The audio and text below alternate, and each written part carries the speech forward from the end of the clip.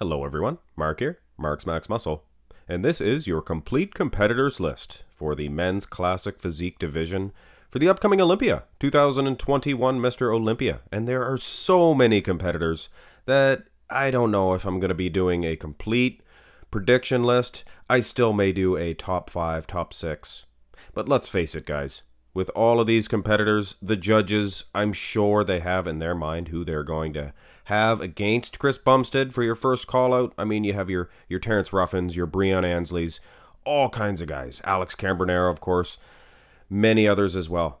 But one would be remiss to overlook at the number one man there, Laszlo Kiraly. Let's have a look at this dude, if you will. And if he does, if he is lucky enough to, uh, you know, get past the, the politics, things of that nature. And if he is compared to Chris Bumstead, I honestly think that he has the ability to size up against the champion a lot better than all of the other guys that I mentioned there, the number one contenders. And here's what I mean, guys. Look at this. The guy is huge. Now this is the uh, the British Grand Prix and I don't like to use these pictures. James Hollingshead won the title there in the open class, and his pictures are very distorted as far as the camera angles are concerned. So to be honest, it takes away from the uh, the V taper, even takes away from the bicep peaks for uh, Kiraly, Kiraly Laszlo. But take a really good look, guys. He's actually probably taller than Chris Bumstead. I believe he's 6'2", where Chris Bumstead's maybe 6'1". But like I said, hard to size with the camera angles all distorted. But take a close look, guys. Look at the wheels, the upper body. This Laszlo is not only huge, structurally speaking, but he's ripped to shreds, Monsoon. Ripped to shreds, Gino. anyway, guys. So, like I said, if he is lucky enough, which he probably won't be, let's face it, guys, but Kiraly Laszlo, he's my dark horse pick. I think he's the only one with the groceries, with the structure, things of that nature, to defeat a Chris Bumstead. And of course, the front lat spread, eh, he's being ripped off because of the camera angles. James Hollingshead, same thing. He can't use those pictures. And obviously, look at his feet. You can see the back of the of the, the ground. And look at Chris Bumstead. See how the ground's flat there? That's the angle that you should be taking this at. You can see the lats. But you can make an estimation on this. Look at the tiny waistline of Kiraly, and look at the shoulder width. I think he's going to be a bigger dude than Bumstead. Oh, come on, judges. Put him in that first call out. Here's the front double. Look at the lats booming on the man. Look at the wheels on the dude. And the vacuum, mm, maybe not as crisp as Chris Bumstead's. I like uh, that vacuum on Bumstead. Maybe a smaller, smaller vacuum for Kiraly, but what that means is he has a much smaller waistline. And for a, a bigger dude, and obviously you can't see the biceps in this picture because the cameras, uh, they must have had it on one of those little drones flying, hovering above. Anyway, anyway, like an angel.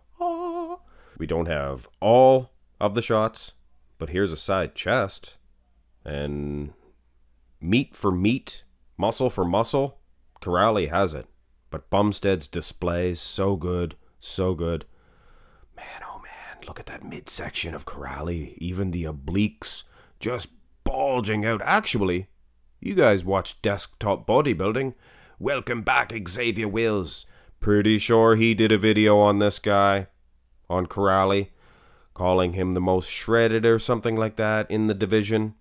And hey, that that could be. That could be. And when you do place these guys side by each, if he has the thinner skin with the bigger structure, you know, they could uh, obviously he's not going to beat Chris Bumstead, guys.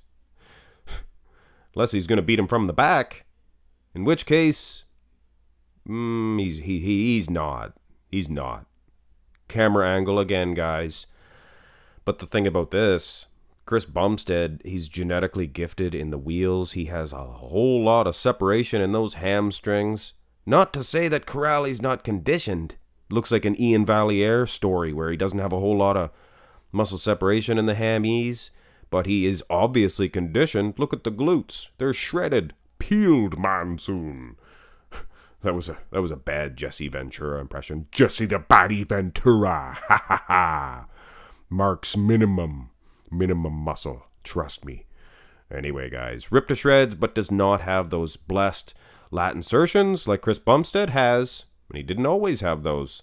Worked hard for those. Anyway, guys, I would have Chris Bumstead winning from behind. Let's have a look at the abs and thigh. Bumstead has a much better I don't know what you want a silhouette, a silhouette here. But then again, guys, you can't use that against Laszlo, against Kiraly Laszlo, because of the camera angles. So let's for a minute just look at the thin skin conditioning. Wow, look at the obliques. Look at the obliques, guys. He's ripped to shreds. Like I said, he's peeled. Good and peeled for the 2021 Mr. Olympias. Yeah, Laszlo doesn't have that uh, the Inzy stomach, the concave like Bumstead has, but look at the obliques, guys. And I, I believe that uh, he would get Bumstead in the abs and thigh pose, but obviously it's not hit to spec for either guy.